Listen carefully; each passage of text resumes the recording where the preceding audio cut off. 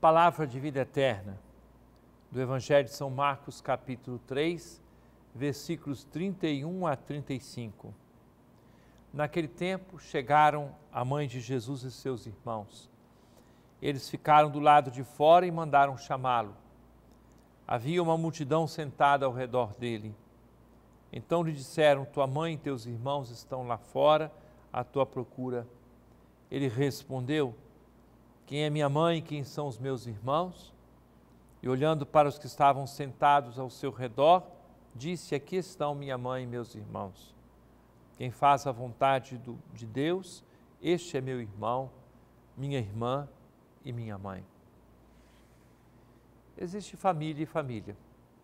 Existe a nossa família do sangue, tão importante, quando nós nos colocamos em atitude, por exemplo, de defesa da dignidade, do nome, da história das nossas famílias.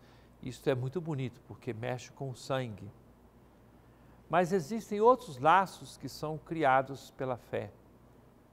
Quando eu sou capaz de reconhecer as outras pessoas como irmãos e irmãs. Quando sou capaz de valorizar, incentivar, fortificar estes laços. A Virgem Maria, Mãe de Deus e nossa mãe, antes de ser a mãe do Verbo encarnado no seu ventre, ela o acolheu na fé.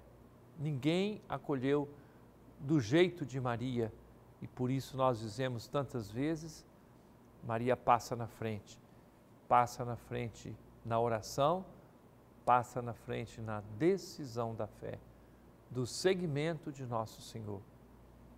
Nós queremos todos juntos responder com fidelidade a Deus, queremos fazer parte da família de Deus. É palavra de vida eterna.